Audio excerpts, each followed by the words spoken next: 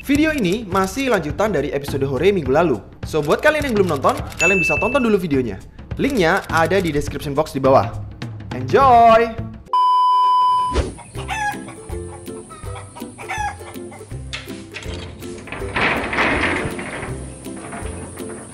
Wih, floating breakfastnya udah ready guys. Tuh.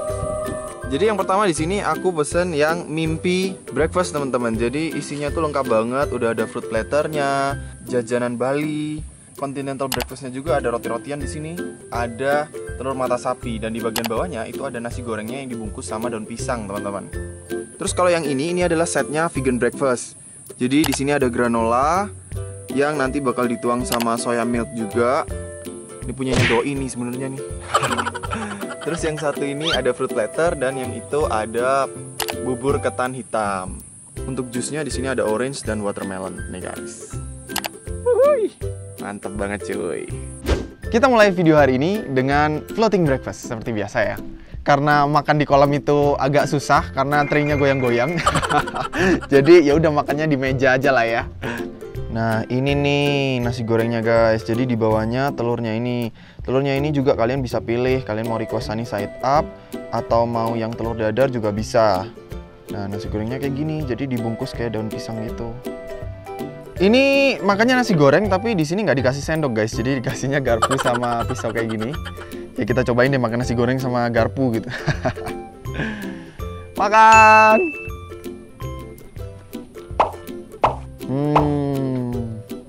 Ini nasi gorengnya kayak nasi goreng rumahan gitu guys modelannya. Enggak yang kayak nasi goreng abang-abang yang gurih banget, banyak minyaknya gitu enggak. Ini lebih kayak yang nasi goreng sehat ala rumahan itu. Hmm. Salah satu floating breakfast yang wajib buat dicoba sih karena sensasinya beda teman-teman. Di sebelah situ itu udah kayak lereng gunung dan kalian bisa ngeliat jauh banget ke depan situ. Oke guys, aku mau coba buat slice telurnya nih. Wow, tuh. Setengah mateng ya. Tapi kalian bisa request sih kalau misalkan kalian mau lebih suka yang telur mata sapi mateng, kalian juga bisa request.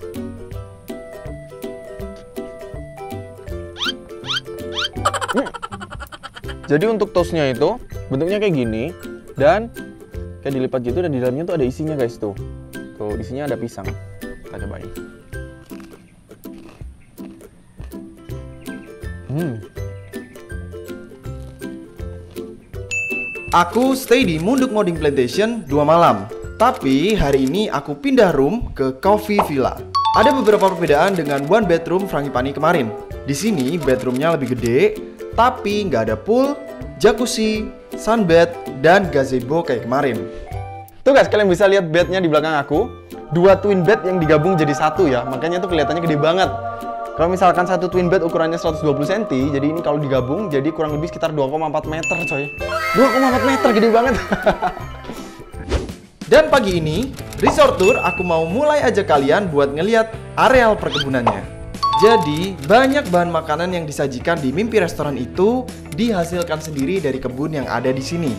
Terutama yang dipakai setiap hari, kayak daun pandan, daun mint, rosemary, kunyit, lengkuas, jahe, stroberi, dan yang paling luas arealnya adalah kebun kopi.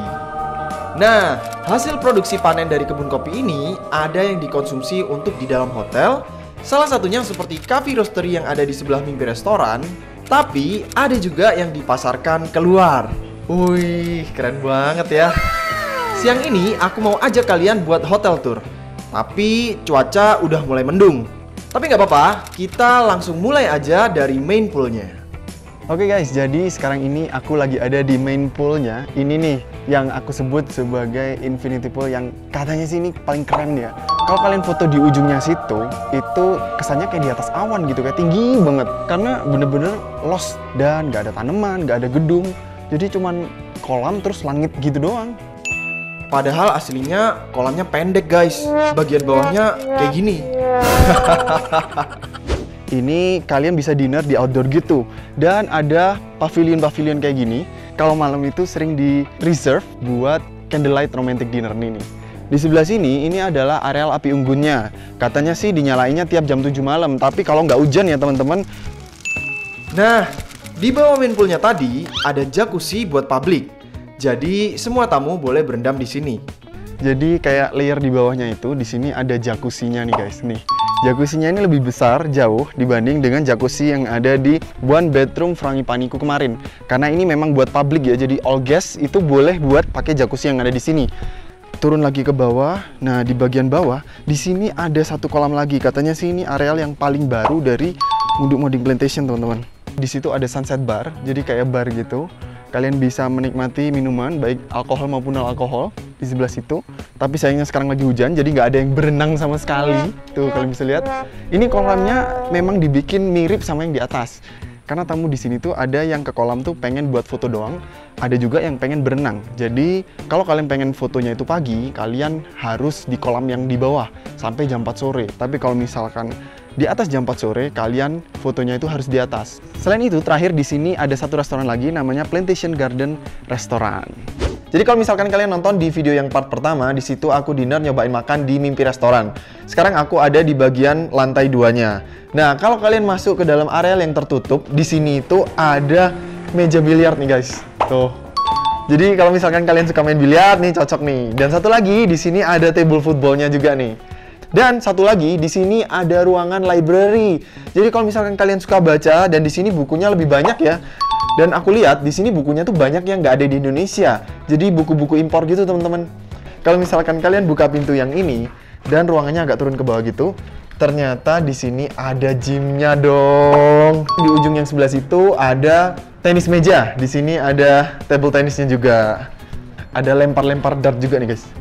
Nih guys, kira-kira masuk nggak ya? Coba nih.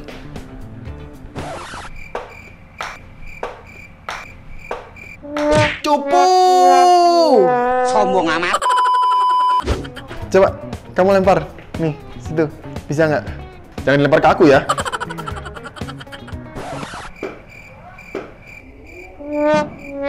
Cupu! Oh, 8 dong.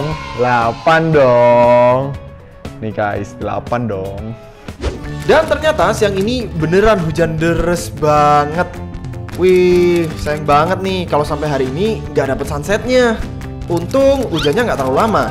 Sekitar jam 4 sore udah reda dan langitnya mulai cerah. Wah asli ini beneran sensasinya beda banget berenang di sini. Dan yang pasti kalau kalian stay di sini jangan lupa buat foto di kolamnya. Karena setahu aku kayaknya nggak ada lagi deh kalau menangin kayak gini. Oke guys, jadi sekarang ini udah hampir jam 6 dan sunsetnya barusan udah mulai kelihatan. Seharian mendung dan hujan gerimis, tapi ternyata sore ini mataharinya nongol cuy, jadi bagus banget.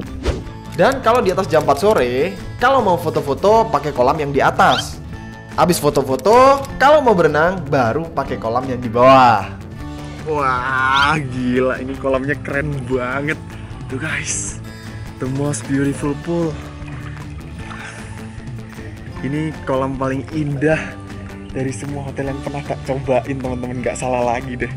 Ini salah satu alasan kenapa kalian harus cobain buat stay di sini. Kolamnya cuy, kolamnya keren banget. Tuh, mataharinya di sono tuh lagi sunset. Wah, gila men.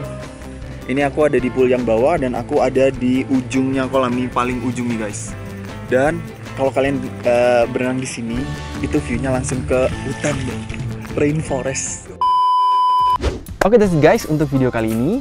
Hari ini aku nyobain staycation di Munduk Modding Plantation. Lokasinya ada di Munduk Buleleng. Ini bener-bener satu experience yang baru buat aku teman-teman. Sepanjang perjalanan yang jauh, begitu kalian sampai di sini itu bener-bener worth it banget. Hari pertama aku nyobain di one bedroom Frangipani. Kelebihannya ada pool, jacuzzi, dan juga ada balai bengongnya. Oh iya, di sini aku juga udah nyobain breakfast, lunch, dan dinner. Dan juga kalau misalkan sore-sore kayak gini, di sini itu ada afternoon tea. Dan aku saranin ya, kalau misalkan kalian datang ke sini, itu lebih baik sebenarnya musim kemarau teman-teman. Supaya kalian bisa foto dengan maksimal dan sunsetnya itu dapat. Jadi mataharinya nggak ketutup kabut atau awan. Kalau kalian suka dengan video ini, jangan lupa klik jempol ke atas. Kalau kalian ada tempat makan, tempat stay, atau tempat jalan-jalan yang ingin aku review, tinggalin di komen di bawah. Dan kalau kalian masih ingin nonton video-video berikutnya, jangan lupa klik tombol subscribe. Nyalain juga lonceng notifikasinya supaya kalian bernotifikasi ketika aku upload video baru. Follow juga Instagram aku di @abnormaltravel untuk dapetin update-update seru lainnya dari aku. Oke, that's it guys. Thank you so much for today and see you guys in the next video. Bye bye.